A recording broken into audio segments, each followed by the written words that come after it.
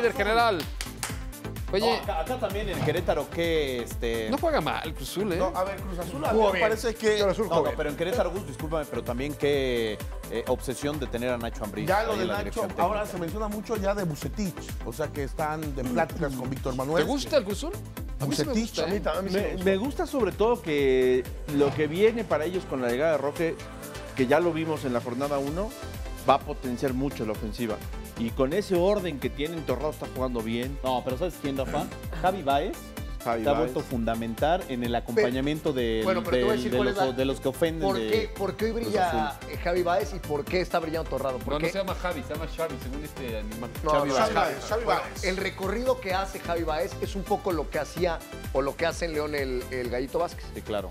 Y Torrado lo que hace es ser el hombre que después de que recupera a Javi es el que grabando. inicia con el ataque de Cruz Después Azul. O sea, hoy cambian los papeles. Cuando Torrado el que recorría antes, hoy que las piernas no le dan, es el hombre que genera la salida.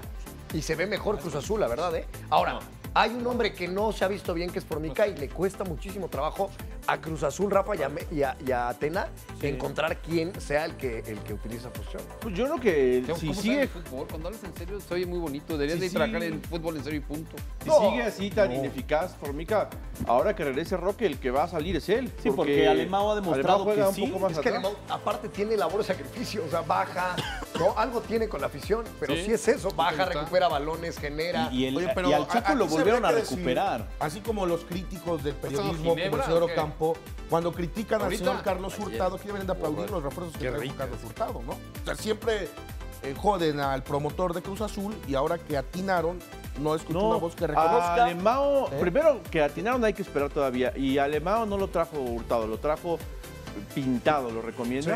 Le faltan siete goles a de los Rafa, diez Él que ha contado A su historia. bueno, pero ahí va. ¿Con Aquí quién trabaja a a pintado, a Hurtado. No era penalti. Sí. No, no, y ahí muy bien Paul Delgadillo va y lo amonesta por, por fingir. A mí lo que no me Sí gustó del Cruz a y me parece espeluznante es el uniforme.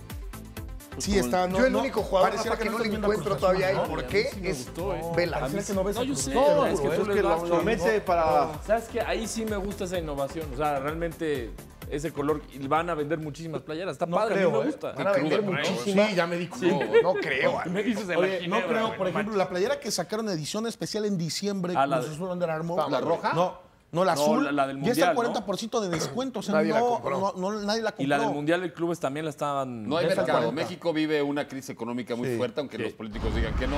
Ahí está comprando cada cuatro meses camisetas. No, y camisetas ¿no? de mil pesos. O sea,